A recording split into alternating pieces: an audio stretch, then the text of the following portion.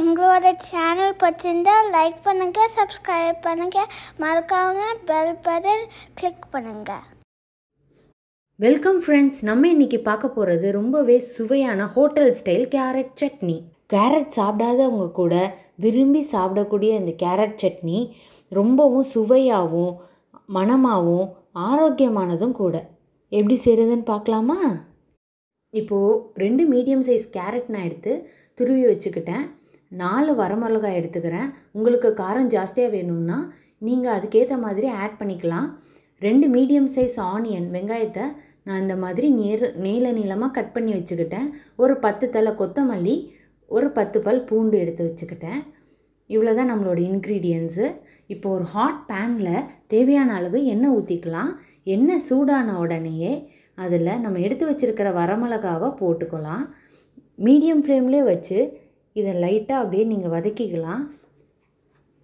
இப்போ அதோட colour change ஆனதுக்கப்புறமா நம்ம எடுத்து வச்சுருக்கிற பூண்டு பல்ல இதில் ஆட் பண்ணிக்கலாம். ஸோ பூண்டு நல்லா பொரிஞ்சிரும். பூண்டு பொரிஞ்சதுக்கப்புறமா நம்ம எடுத்து வச்சுருக்கிற வெங்காயத்தை ஆட் பண்ணிக்கலாம். வெங்காயம் நல்லா சாஃப்டாக கோல்டன் கலர் மாறுற வரைக்கும் நம்ம வதக்கிக்கலாம்.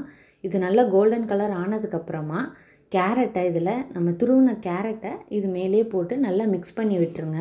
கேரட்டை ரொம்ப நேரம் நீங்கள் வதக்காதீங்க. அப்போ அதோட சத்து தன்மை எல்லாம் போயிடும். ஸோ ஒரு மூணு நிமிஷத்துலேருந்து நாலு நிமிஷம் நீங்கள் வதக்குனீங்கன்னா போதுமானது.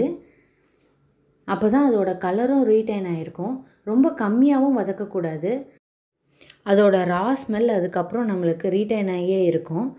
So three to four minutes இதை கரெக்டாக நீங்கள் பார்த்து வதக்கிடுங்க இப்போது இறக்குறதுக்கு ரெண்டு நிமிஷத்துக்கு முன்னாடி நான் கொத்தமல்லி தலையை ஒரு நேரம் கூரமாக கட் பண்ணி இதிலே போட்டு வதக்கி எடுத்துக்கிறேன்.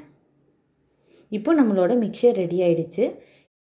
இதில் தேவையான அளவு உப்பு சேர்த்து நம்ம மிக்சரை அரைச்சிடலாம். நம்ம மிக்சியில் அரைக்கும்போது முதல்ல தண்ணி விடாமல் ஒரு ரெண்டு ஓட்டு ஓட்டிட்டு அதுக்கப்புறமா தண்ணி ஊற்றி நீங்கள் அரைச்சிங்கன்னா நல்லாவே சீ அரைஞ்சிரும். சீக்கிரமும் இது மிக்சர் வந்து நம்மளுக்கு ரெடி ஆகிடும் இப்போது நம்மளோட சுவையான கேரட் சட்னி ரெடி ஆயிடுச்சு. பார்க்கவே கலர்ஃபுல்லாக ரொம்ப டெம்டிங்காக இருக்குல்ல? நீங்களும் கண்டிப்பாக வீட்டில் ட்ரை பண்ணுங்கள் ஃபைவ் டு டென் மினிட்ஸ் கூட ஆகாது உங்களுக்கு இந்த கேரட் சட்னி செய்ய. நிச்சயமாக உங்கள் வீட்டில் உள்ள எல்லாருக்குமே ரொம்ப ரொம்ப ஃபேவரட்டாக இது மாறப்போகுது. Thank you friends